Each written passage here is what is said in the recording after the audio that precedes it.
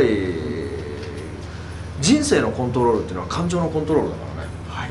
感情のコントロールが人生のコントロールになっていくから、うん。人間だから不機嫌になる時はもちろんある。ふざけんなこの野郎っていうのはあるけども、はい。いかにその感情というのを怒らないんじゃなくて時間なんだよね。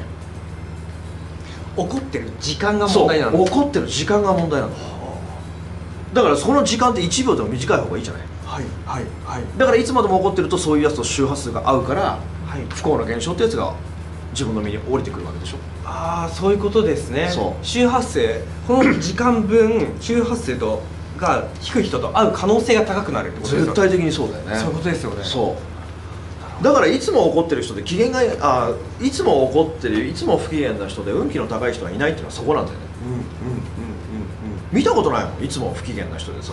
そうですね。田中部長いつも怒ってて怖いでも田中部長今日もすごい怖い。でもあの人運気だけは高いの。これ臨時診療入ってきた人じゃないですか。これ焼肉食べに来た人でしょ。その人そんなこともしてるんです田中部長にもの被害にもあって。すごいですね日常生活のアウトプットがだっていないんだよ。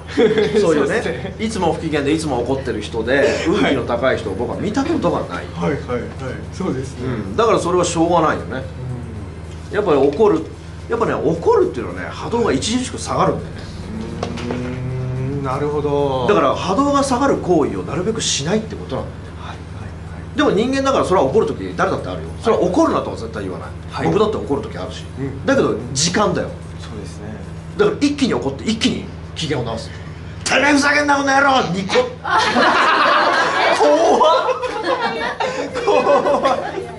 怖っ。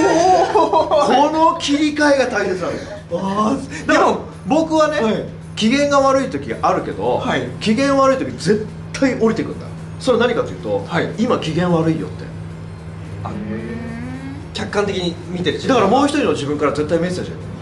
機嫌が悪い時笑ってないその時によってメッセージが来る笑ってないよとか怒ってるよとか機嫌悪いよとかうんうん。絶対言われる。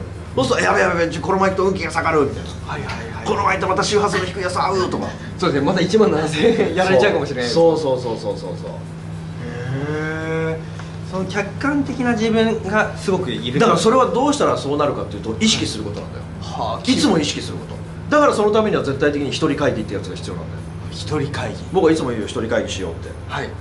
だからこの一人会議っていうのは、はい。あの自分の中の約束事を決めとかなきゃいけないんだよ。はい。朝晩は僕はもう絶対一人会議してほしいんだよね。